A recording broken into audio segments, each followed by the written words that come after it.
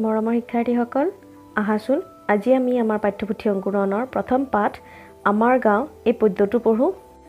পাঠ এক আমাৰ গাঁও। শুৱনি আমাৰ ভৰা গাঁওখনি শুৱনি আমাৰ ঘৰ।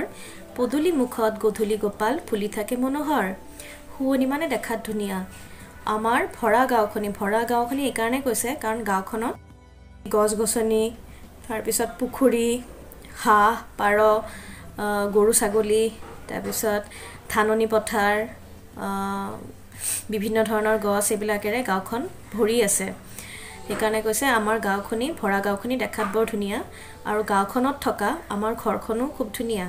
আৰু আমাৰ ঘৰৰ সন্মুখ ভাগত যাক পদূলিমুখ বুলি কয় গধূলি গোপাল ফুল ধুনীয়াকৈ ফুলি থাকে। মনোহৰ মানে দেখাত ধুনীয়া। দেই এয়া হৈছে গধূলি গোপাল ফুল। শুৱনি আমাৰ ভৰা বাৰীখনি শুৱনি তামোল পাণ শুৱনি আমাৰ সোণালী পথাৰ ভৰি পৰে পকা ধান। শুৱনি আমাৰ ভৰা বাৰীখনি বাৰী কাক কয়? আমাৰ ঘৰত যিটো অংশত গছ গছনি বিভিন্ন ধৰণৰ গছ গছনি থাকে বা ৰোৱা হয় তাকে বাৰী বুলি কোৱা হয়। তাত বাৰীত আমাৰ বিভিন্ন ধৰণৰ তামোল পাণৰ গছ তাৰপিছত আম কঁঠাল জাম অমিতা বিভিন্ন ধৰণৰ গছ গছনি তাত ৰোৱা হয় বা লগোৱা থাকে। তো সেইটোক বাৰী বুলি কয়। তো আমাৰ ভৰা বাৰীখন খুব ধুনীয়া আৰু আমাৰ তামোল পাণখিনিও বৰ ধুনীয়া আৰু আমাৰ ধাননি পথাৰটোও খুব ধুনীয়া। ধাননি পথাৰটো কেনেকুৱা বুলি কৈছে? সোণালী বুলি কৈছে। সোণালী কিহৰ কাৰণে কৈছে? পকা ধান মানে ধাননি পথাৰটোত ধানবিলাক পকি আছে। তাৰমানে পকা ধানবিলাকৰ ৰং কেনেকুৱা হয়? সোণোৱালী হয় হয়নে নাই? এতিয়া যিহেতু পথাৰত পকা ধানেৰে পথাৰটো ধাননি পথাৰটো ভৰি আছে দেখাত সেইটো সোণোৱালী হৈ পৰিছে সেইকাৰণে সোণালী পথাৰ বুলি কৈছে। শুৱনি আমাৰ গাঁৱৰ পুখুৰী ৰাজহাঁহ চৰে তাত শুৱনি আমাৰ ঔগছ জুপি মৌৱে বাহ লয় গাত। শুৱনি আমাৰ গাঁৱৰ পুখুৰী আমাৰ গাঁৱৰ পুখুৰীটো খুব ধুনীয়া তাত ৰাজহাঁহ চৰে। শুৱনি আমাৰ ঔগছ জুপি মৌৱে বাহ লয় গাত আমাৰ গাঁৱত থকা ঔগছ জুপিও বৰ ধুনীয়া তাত মৌৱে বাহ লয় ঔগছ জুপিত মৌৱে বাহ লয়।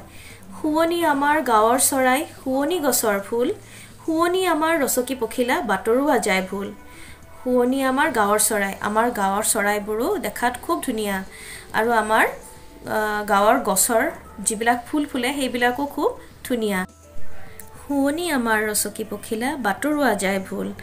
আমাৰ ৰচকী পখিলা ৰচকী মানে চঞ্চল কোনো কামতে মন নলগা নলগোৱা সেনেকুৱা।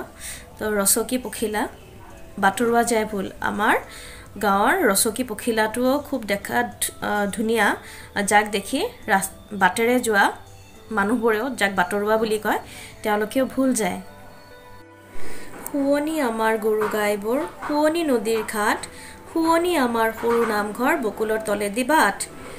আমাৰ গাই গৰুবোৰো খুব ধুনীয়া গাই গৰুবোৰো খুব ধুনীয়া আৰু আমাৰ নদীৰ ঘাটো বৰ ধুনীয়া।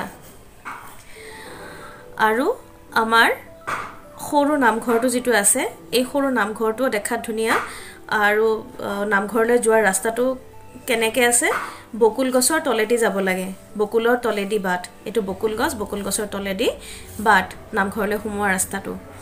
শুৱনি আমাৰ যত ভাই ভনী ৰহিম মহিম দোল পদুমী কদমী মেলিনা চখিনা একেটি থুপিৰে ফুল। আৰু আমাৰ গাঁৱত যিমান মানুহ আছে সকলোবোৰ মানুহ আমাৰ ভাই ভনীৰ নিচিনা। সকলোৱে একেলগে মিলিজুলি থাকে। আমাৰ গাঁৱত ৰহিম মহিম দোল পদুমী কদমী মেলিনা চখিনা এই আটাইবিলাক মানুহে আমাৰ ভাই ভনীৰ নিচিনা তেওঁলোক একেটা থোপাত যেনেকৈ সকলো ফুল একেলগে মিলিজুলি থাকে আমাৰ গাঁওখনতো এই সকলো লোক একেলগে মিলিজুলি থাকে। শুৱনি আমাৰ যত গয়া লোক শুৱদি মুখৰ মাত এখনি গাঁৱতে সবে মিলিজুলি পাতে মৰমৰ হাত। আৰু যত গয়া লোক গাঁৱৰ মানুহক গয়া বুলি কয়। তো আমাৰ গাঁৱৰ গয়া লোকবোৰো খুব বা গাঁৱৰ মানুহবিলাকো খুব শুৱনি খুব ধুনীয়া।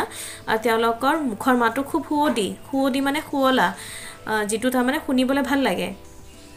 আৰু আমাৰ গাঁৱৰ মানুহবিলাকৰ মানুহবিলাকো খুব ধুনীয়া আৰু তেওঁলোকৰ মুখৰ মাত কথাবিলাকো খুব শুৱলা।